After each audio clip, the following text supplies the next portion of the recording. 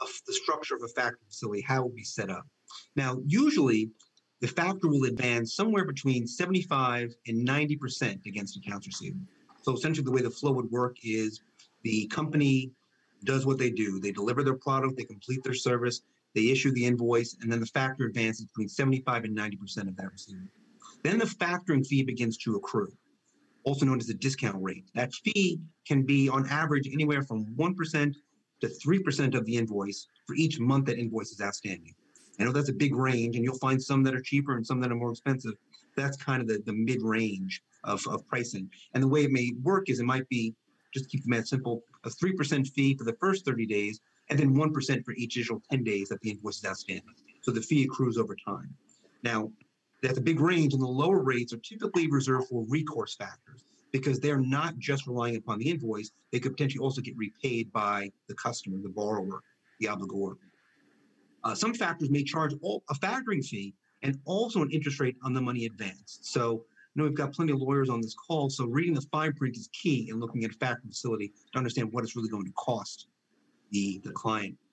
The, the term for a factoring facility can be as little as zero. For example, a spot factor, well, the factor one invoice once and then the relationship ends, or it might be ongoing for 24 months.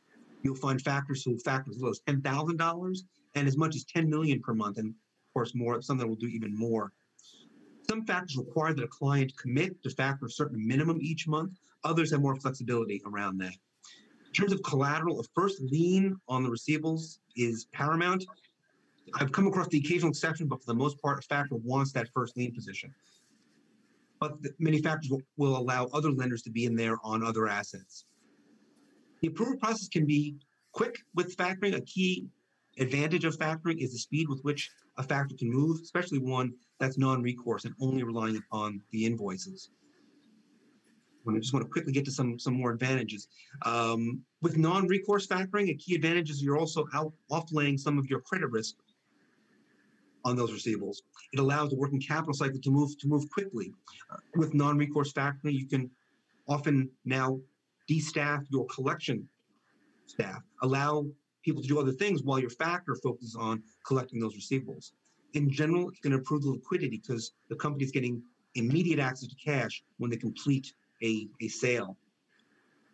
There's a lot of flexibility around how factoring proceeds can be used. Most factors don't put limitations. Company can use the cash any way they choose. Facilities are often very elastic. They can grow as the receivable base grows. You don't need to return to your factor to request an increase. It just grows as the AR base grows. Some disadvantages are cost. Clearly, if a business qualifies for an ABL facility, it's going to cost them much less than 1% a month.